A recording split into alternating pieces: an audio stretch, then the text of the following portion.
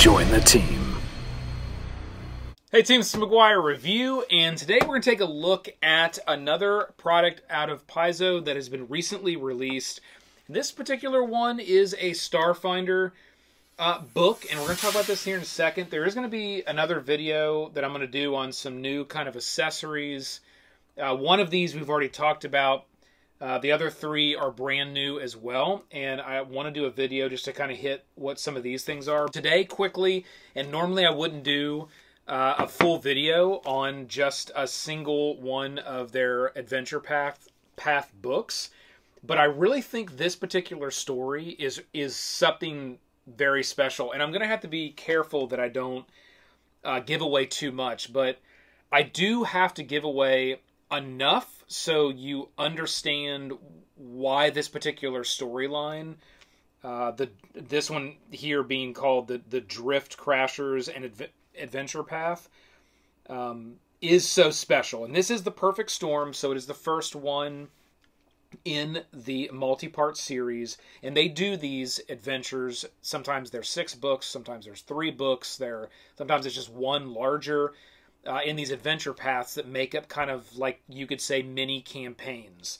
This one here is really the first. It's designed for uh, level 1 to level 2 so you're going to be a level 1 level 2 more likely a level 2 by time you're done with this book and this story. And then you can kind of level up as you go through the uh, the other ones a- as they're released uh, through time. And through time and space is a good segue to what drift crashers is all about now the the premise of this one and, and one of the things that makes it kind of cool that I'll tell you, and I think this is anything that you would just get as you sat down to the table from a DM kind of describing overarching what's going to happen in this campaign. Essentially, you really get it all in this one, and I think that's what makes it really cool. You're on this ship and you're being, we'll just say, semi.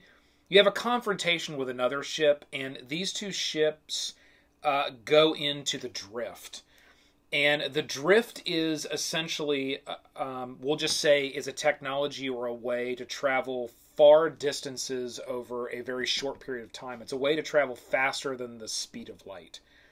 Is the drift? There's also the maelstrom, but um, this is this is focusing on on the drift, and two ships kind of, we'll say, get into a, an issue with the drift and kind of merge together and create a, a new type of ship. So that's one thing that I think is awesome about this is that you get this new new starship that's very very unique uh, in style and approach, and then you would could only imagine that you have to kind of deal with okay what would happen if two of these ships got smashed together and, and created a, a, a new thing and then the, the crews from each of these ships and you know, are they enemies? Are they not? And what do you have to deal with in that kind of scenario? And then, as well as sort of barreling through the drift, and it's like, where are you going to show up? And one of the places that you first show up in this adventure is what I think makes this so unique. And it is a very different place than you would expect you would be popping out in and an environment that you have to kind of deal with. Um, and I and I'm, I'm not gonna I'm not gonna say what it is. I'm not gonna just I I, I hope I'm not gonna say I, yeah I'm not gonna say what it is of where you pop out, but that's what really makes this I think particular adventure so unique because it kind of has it all. You've got very unique um, places that you're going to be interacting with and in situations that you're going to have to deal with as players and it just throws you right in from the very beginning. There's not a lot of setup, there's not a lot of messing around. It's okay, you're on this ship, and all of a sudden, boom, you, you've got a massive problem that you need to deal with. And you need to navigate the things that are going on on that ship to even start off with. And then all of a sudden, you're in this other type of environment. You've got to deal with that, which is, I think, very something very different for the Starfinder world or IP, and then all of a sudden now you are in other areas and that you have to you have to deal with and and and problem solve. So I just love this particular story uh, and adventure path line. It it is it's one of these that I would highly recommend that if you do play Starfinder, you definitely pick up this this series that's going to be that's going to be here with this one. I think it's going to be one that your your table is really going to enjoy. I think if you're new to Starfinder and you're thinking about getting into Starfinder, this may be one of those like really fun you know, if you as a DM have been wanting to get into Starfinder, but you just you don't know how to grab the table, you don't know how uh, maybe your players aren't really in. They're they're more from the Pathfinder IP. Uh, they like more of the fantasy adventure. They're not really into the the space or the technology side. This one I think is going to bridge some gaps, and I think this one's going to be one that I just don't know how a table could come away from session one and be like,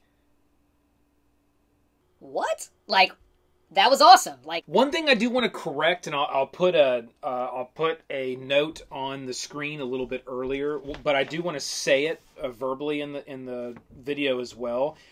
Um, I th- I I thought, and all the way up until this point, I always thought it was uh, level one and two, but it does indicate right here that you will go all the way to third level uh, by the end of the chapter three uh, adventure. So there are like three chapters that these books.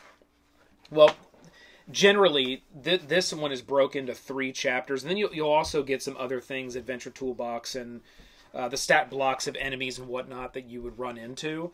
But there are three full chapters um, that are in here and um, I won't really go anything more into what those those chapters entail and all the things you're going to get into. Well, another thing that I love about these um, that I really noticed was done well in this one was within those chapters there are like um, al- almost like story point. Not necessarily you could look at them as story point hooks, but it's almost like okay here's the first event here's the second event here's the third event here's the fourth event.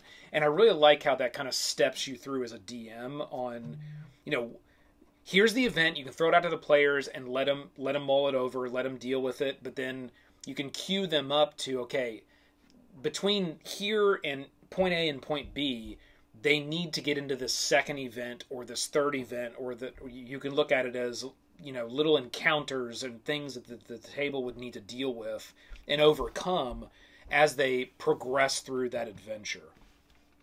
Okay, so that is that is our book here that I wanted to go over. Drift Crasher's Adventure Path: The Perfect Storm by Jessica Redekop. I hope I'm pronouncing that properly. Uh, Jessica, amazing work here. This is um, this is this is going to be an awesome one, and I think there's going to be a lot of other people out there that are really really going to like this particular Starfinder Adventure Path series. So, with that, if you enjoy the content on the channel that covers the RPG uh, content, uh, I would appreciate a like on the video. That helps with the videos. And if you do want to subscribe, uh, that would be appreciated. It'd be great as well. You could join the team. Um, other than that, keep rolling them crits. This has been the McGuire Review. We'll see you next time.